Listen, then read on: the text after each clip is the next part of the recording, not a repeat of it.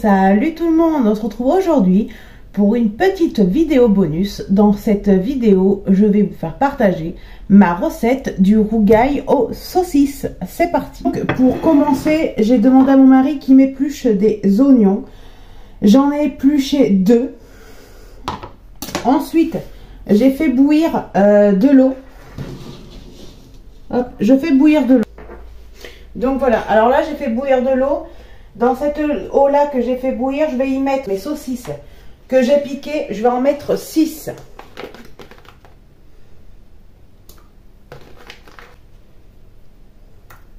Hop, et je les laisse dans l'eau pendant 10 minutes. Alors moi, je mets un petit chrono. Comme ça, je sais. Ensuite, à côté, je vais m'occuper de mon ail. Alors, je vais éplucher et couper mes ails. Alors, il faut savoir que pour la recette, il vous faut 4 tomates ou même des, tomates empelées. Moi, c'est en boîte, c'est ce que j'utilise aussi. Deux oignons, du thym, du poivre, du sel, une cuillère à soupe de curcuma, de l'huile et 6 saucisses. Donc, je coupe mes ails. Alors, euh, moi, j'en mets 3 à 4. Voire un peu plus, ça dépend. Mais là, je vais en mettre 4. Je pense que ce sera suffisant. Alors, mettre 4 ails.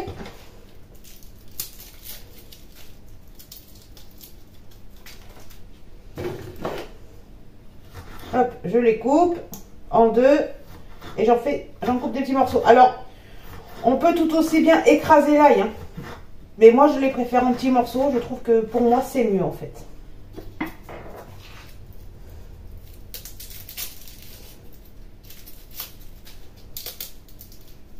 Alors il faut savoir que ce plat-là, c'est un plat qui est typique de la Réunion.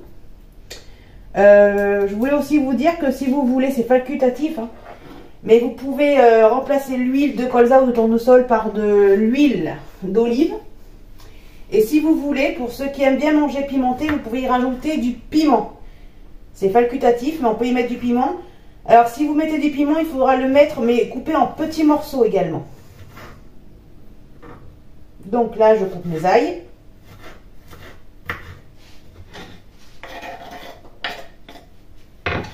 Donc, continuons. Euh, là, j'ai mis euh, dans ce saladier-ci, j'ai mis mes tomates, euh, mes tomates pelées en conserve. Alors, ce que je vais faire, je vais les prendre une par une et je vais les couper en petits morceaux. Alors, moi, j'enlève le petit bout, vous savez, de, tomate qui est un peu dur. Je sais pas comment on appelle ça. Je l'enlève. Je coupe toutes mes petites tomates. Alors, faut vraiment, je les, mets, je les coupe vraiment en petits morceaux. Et ça convient parfaitement comme ça. Donc, je les coupe en petits morceaux. Une fois que c'est fait, je viens les mettre dans un saladier vide.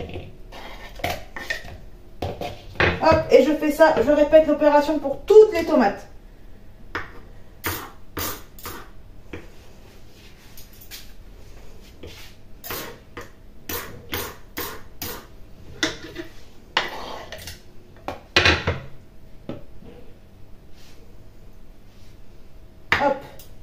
Je prends, je coupe en petits morceaux. J'enlève le cucu de la tomate.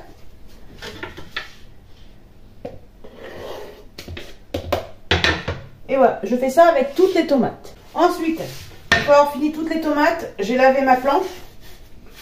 Je l'essuie avec du sopalin. Hop, je nettoie un petit peu mon plan de travail si j'ai besoin.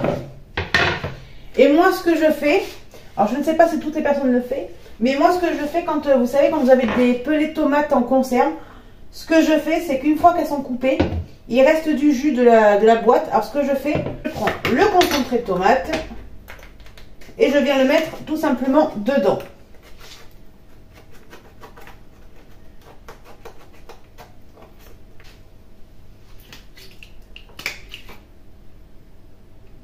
Donc voilà, je prends le concentré de tomate et je viens mettre tout ce qu'il y a dedans dans le saladier où il y avait le reste de, jus euh, tomate, de mes tomates pelées. Ensuite, je vais y faire également, je vais y rajouter euh, un fond de tasse d'eau, mais alors vraiment un fond. Hein. Hop. Là, vous voyez, mes saucisses sont cuites. Donc, ce que je vais faire, là maintenant, je vais prendre mes petites saucisses. Je viens les prendre et les poser délicatement dans une assiette. Et hop, voilà. Donc je les ai mis dans une assiette et je viens les réserver pour après. Ce qu'il y a dans la casserole, je vais tout simplement venir le vider, rincer ma casserole pour faire le reste. Donc voilà, ma casserole est maintenant lavée, essuyée. Je vais mettre un petit peu d'huile de colza. Alors vous pouvez également y mettre, si vous le souhaitez, euh, de l'huile d'olive. Hein. Je pense que dans la, recette de base, c'est de l'huile d'olive. Après, moi, euh, je vous montre ma recette à moi, tout comme mes vidéos, ce sont mes trucs à moi, que je vous fais partager tout simplement. Et c'est un grand plaisir de vous le faire partager d'ailleurs. Donc là, j'attends que mon huile chauffe un petit peu. En attendant, je vais reprendre mon concentré de tomate que je viens remuer avec le peu d'eau que j'ai mis. Alors, il faut savoir que vu que le feu est déjà bien chaud, euh, l'huile va vite, vite chauffer. Donc après, je prends mon ail et enfin mes ails et mes oignons qui ont été coupés par mon mari car je ne peux pas couper les oignons, c'est horrible. Je viens les faire revenir. Alors moi je les fais revenir simplement. Alors ce que je fais, peut-être que ça plaira pas à tout le monde, mais moi c'est ma façon de faire et ça fait des années que je fais ainsi. Mes oignons, une fois qu'ils sont dans la, casserole, je prends une cuillère à sucre, euh, une cuillère de sucre, je mets au-dessus. Vous voyez, je mets pas tout. Hein comme ça, je fais revenir mes oignons comme ça. il faut les faire revenir, il faut faire revenir vos oignons et vos ails sans trop qu'ils soient colorés. En attendant, ce que, l'on peut faire, on, on va couper les saucisses en petites rondelles. Donc, là, je viens de prendre mes saucisses et je les coupe en rondelles. Alors, je fais vraiment des petites rondelles. Hein. Euh, la mesure exacte, euh, personnellement, vous voyez, euh, du moment que ça fait ces petites rondelles-là, c'est parfait. Après, moi, je prends des, saucisses, des chipots, je crois. Ouais, c'est des chipots que j'ai. Mais vous pouvez faire ça avec des grosses saucisses de Toulouse ou des saucisses fumées aussi. Hein. Moi, j'ai fait ça avec des chipots parce que ben, j'avais des chipots sous la main. Donc là, je viens remuer mon ail avec mes oignons. Et je continue de couper mes saucisses.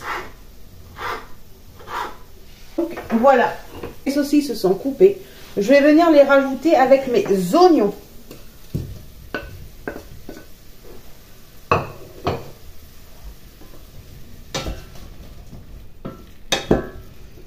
Hop, je vais les laisser cuire un petit peu pendant 5 minutes. Et au bout de 5 minutes, je rajouterai mes tomates.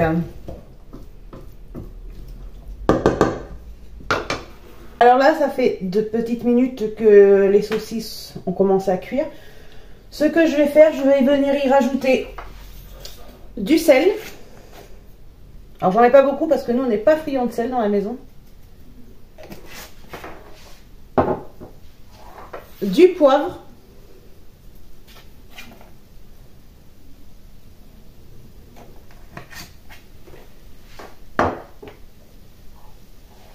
Du curcuma.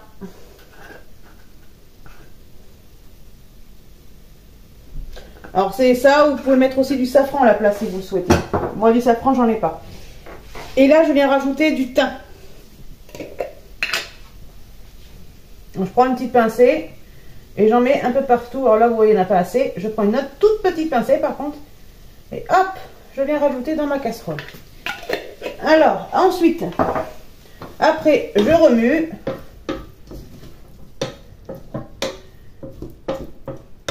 Et je vais laisser cuire un petit peu avant de pouvoir ajouter mes tomates. Je voulais vous dire, j'ai rajouté un couvercle dessus. Alors, il faut, il faut que ça soit, euh, ça soit couvert quand vous le cuisinez, il faut que ça le soit. Euh, ce que moi je vous conseille, c'est de soulever le couvercle de temps en temps pour, que, pour enlever, vous savez, l'excès d'eau. Là, pour l'instant, je suis encore, j'ai pas encore ajouté mes tomates pour le moment. Donc voilà, les 5 minutes sont passées. Je vais y rajouter mes tomates en morceaux.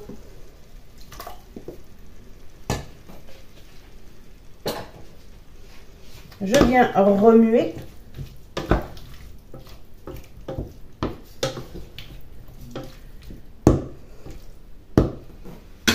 Regardez comment ça a l'air bon.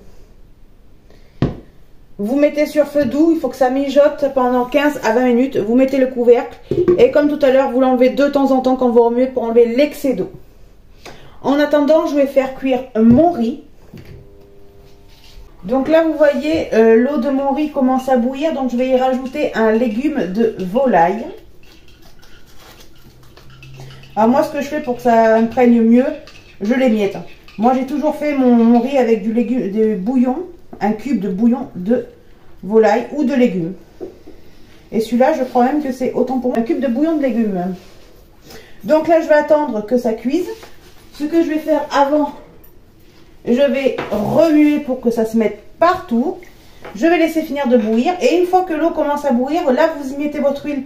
Parce que moi, j'ai remarqué que si vous mettez l'huile, une fois que l'eau elle est froide, en fait, elle reste en bas. Donc, ça ne se met pas dans le riz ou les pâtes. Donc voilà, on se retrouve une fois que l'eau est bouillie. Alors là, vous voyez, hop, j'enlève le couvercle. Dans une petite assiette que j'ai à côté, j'enlève le surplus d'eau. L'excès d'eau, le surplus, comme vous voulez. Je remue. Là, vous voyez, ça fait déjà 4 minutes que j'y ai mis mes saucisses avec mes tomates. Alors, je sais que toutes les personnes ne le font pas, mais moi, c'est ma façon à moi de le faire. J'y rajoute mon petit concentré de tomates.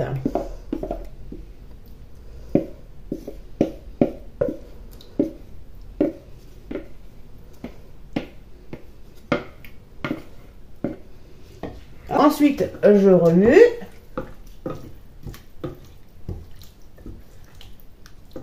Laisse cuire sur feu doux, toujours recouvert d'un petit couvercle. Donc là, l'eau du riz est en train de bouillir.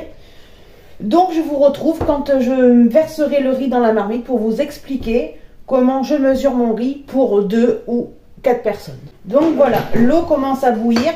Je vais y mettre mon huile. Je rajoute du curcuma parce que ça fait du riz jaune et je trouve ça joli. Donc je rajoute un petit peu. J'en mets pas beaucoup, je rajoute un petit peu. Alors pour euh, la préparation de ce riz, vous pouvez tout simplement y mettre soit du riz basmati ou soit du riz taille. Moi, je préfère le riz basmati. Avec mon mari, on en est friand. Donc, on va mettre du riz basmati. Donc, pour la mesure, alors moi ici je vais y mettre, euh, là le repas que je fais c'est pour ce soir et pour demain midi. Donc ce que je fais, je prends ces, prends ces toutes petites coupelles et hop. Alors il faut savoir que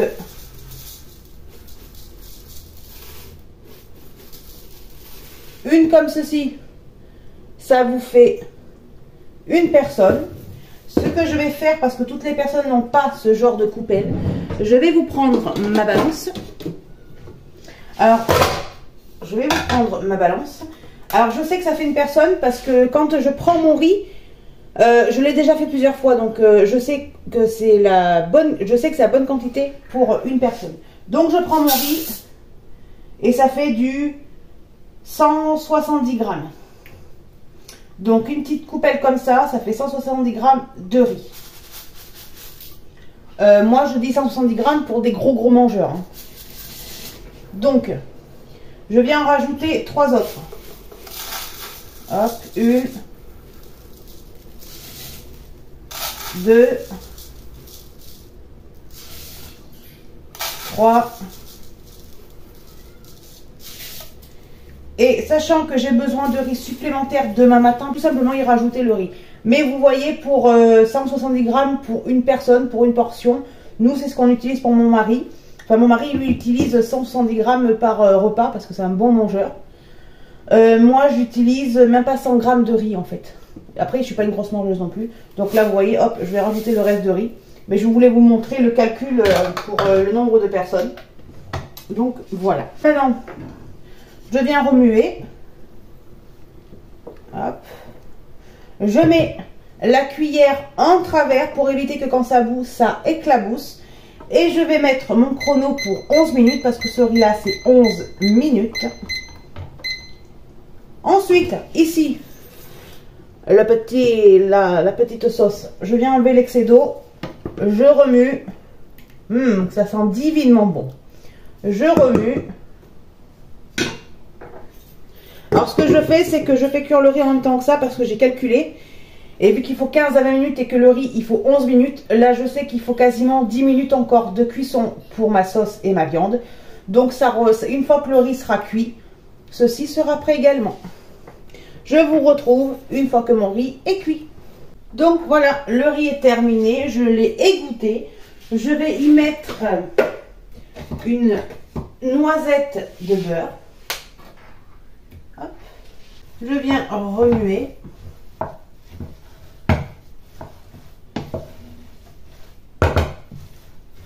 Ensuite, je vais y mettre mon riz ici. Là, dans, ce, dans une assiette. Vous voyez là, je reprends mon petit récipient que j'ai lavé. Je vais le remplir de riz. Hop.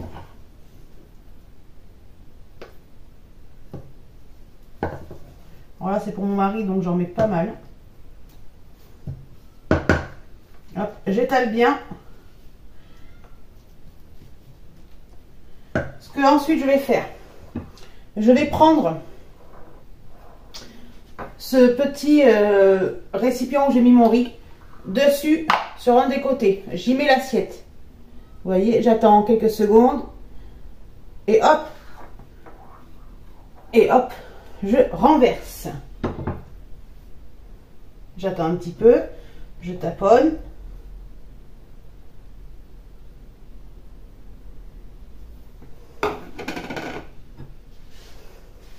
Voilà ce que ça donne. Ensuite, pour continuer, je vais prendre ma petite sauce à rougaille. Hop. Je viens, hop, le mettre, vous voyez, moi je fais comme ça. Le mettre pour que ça coule dessus.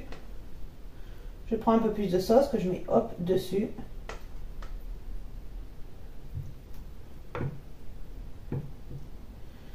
Ensuite, je viens prendre du persil. Que je vais mettre délicatement dessus.